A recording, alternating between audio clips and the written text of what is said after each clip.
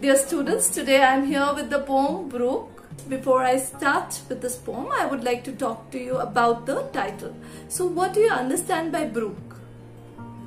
Yes, brook is a small stream or a small river, right? So let's see how a brook starts its journey and finishes out, right? The first four lines of the poem go like this. I come from haunts of coot and I make a sudden sally, and sparkle out among the fern to bicker down a valley. So in these four lines, what do you see? That Tennyson, who's a keen observer of nature, he personifies a rocky stream. So that is why the stream describes itself as a human being and this is why the word I appears as the narrator. So who's narrating the poem? It's the brook, the river that's narrating its journey right? So that is why the word I has been used. So the stream originates from a place which is habitat of aquatic birds and which birds are we talking about? We're talking about the coot and we're talking about the heron. So then what happens is this brook takes a quick sharp turn to enter where? To enter a field where the flowerless wild fern grows. So as the river moves down the valley, it makes the bickering sound. Now, what is this bickering sound? Bickering sound is akin to like human beings quarrel or talk amongst themselves. So they bicker. Got it? As we move on to the next four lines, let's see what the poet says.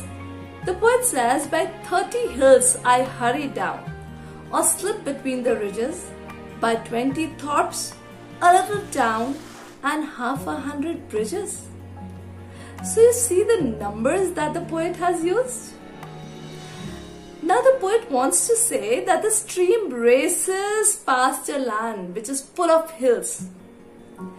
The number 30 is used as a metaphor to denote the vast number of hills. So it makes its way through ridges that are common in hilly terrains. As it continues its journey, it leaves behind what? Many villages and towns and so many bridges. Like the earlier word 30, we have 20 and we have half a hundred that is 50. So they also are meant to express a great number. Alright, then let's move on to the third stanza which says, Till last by Philip's palm I flow to join the brimming river. For men may come and men may go, but I go on forever. So the poet here says that this brook, the small stream, has taken up its journey and this stream reaches the Phillips farm. After reaching there, it joins the brimming river. Small little streams, you know, they enter into the river. So this is one of that small stream that has to enter into the river. But where is it going to join the river? When it reaches the farms of Phillips. Then the stream says that it has outlived even the mightiest men who are born on this earth. Because men are mortal, they come and they go. But the author is overwhelmed by the timeless existence of the stream and men's helplessness before the cycle of the birth and death. Now, let's move on to stanza 4 which says, I chatter over stony ways in little sharps and trebles. I bubble into erring bays. I babble on the pebbles. So the train that the stream travels through is vast and varied. And it negotiates, it turns, it runs over and trebles and blows up bubbles. So as it goes rough, because now it has joined the river, it's becoming rough now. When it dashes against the innumerable stones and pebbles, it makes a continuous drone. That's a sound that it creates while it's moving with full force. In stanza 5, the poet says, With many a curve my banks I fret, by many a field and fallow, and many a ferry fall and set, with willow weeds and mallow. So the stream here appears to rejoice. Why? Because of the gorgeous flow. So here the stream is very happy.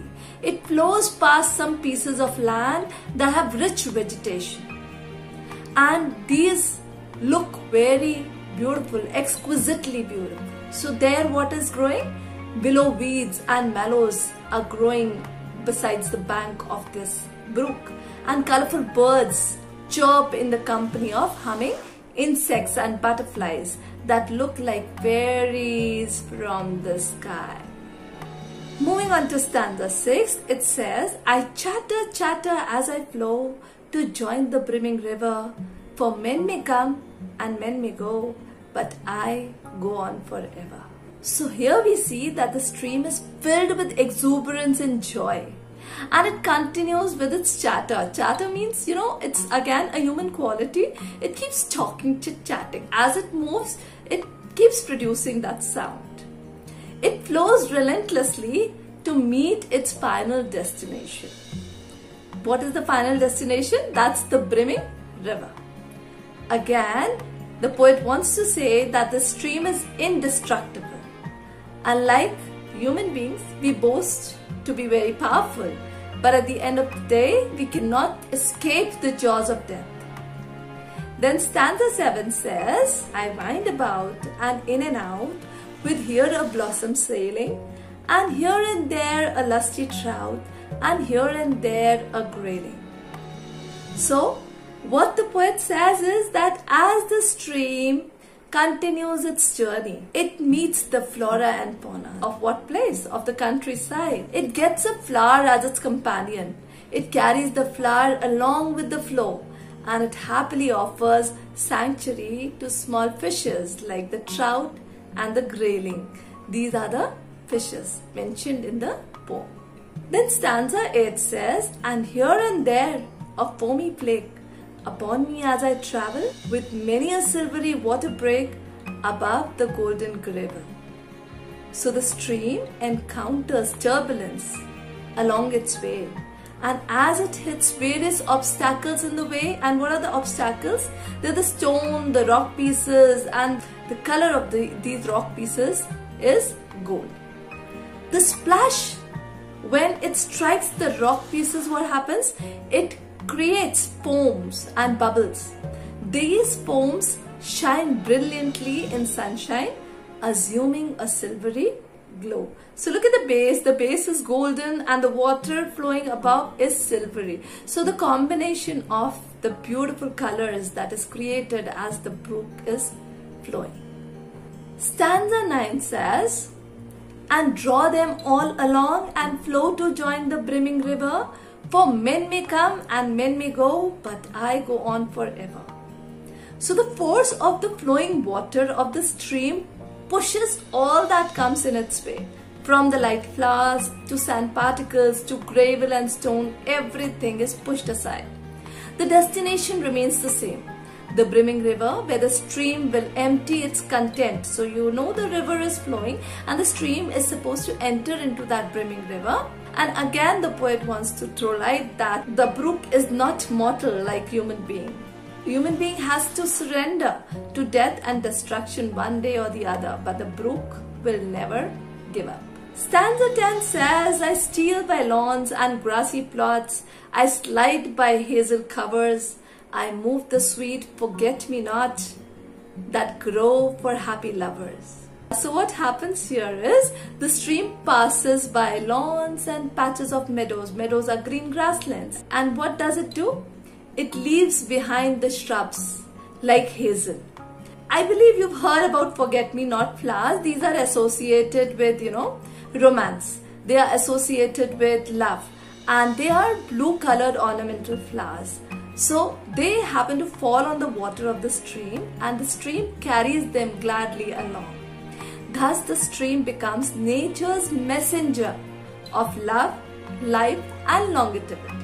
Moving on to stanza 11, the poet says, I slip, I slide, I glue my glance. Among my skimming swallows, I make the netted sunbeam dance against my sandy shallows. So the stream has to maneuver its way the stream has to create its way past the many obstacles that tend to stop it.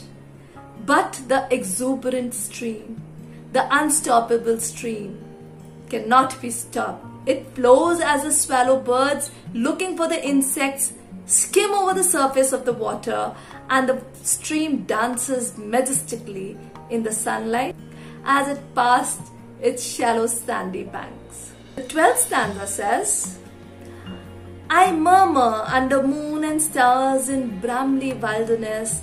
I linger by my shingly bars. I loiter around my cresses. The stream has no break in its journey.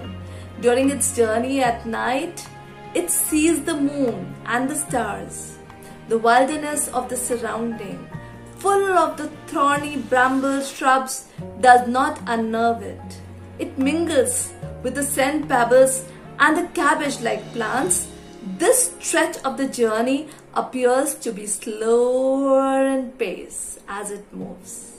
Stanza 13 says, and out again I curve and flow to join the brimming river. For men may come and men may go, but I go on forever. So in this stanza, the poet wants to say that the stream is flowing and the flow resumes. It was slower when we saw uh, in the previous stanza that the pace of the water was slower. Right here again, the stream has resumed its flow in its relentless pace negotiating turns and curves and it keeps moving with the swift flow. Finally, it joins what? The river. That is the final destiny of this Brook River. With those same lines being repeated, for men may come and men may go, but I go on forever. So the stream mocks at the human as ordinary mortals who get consumed by time. On the other hand, the stream is perennial and undying. That's all for today. In case of any doubts or queries, you can drop us a message on Instagram or you can also drop them in the comment section below. I'll revert to them as soon as possible. See you in the next video. Till then, bye bye.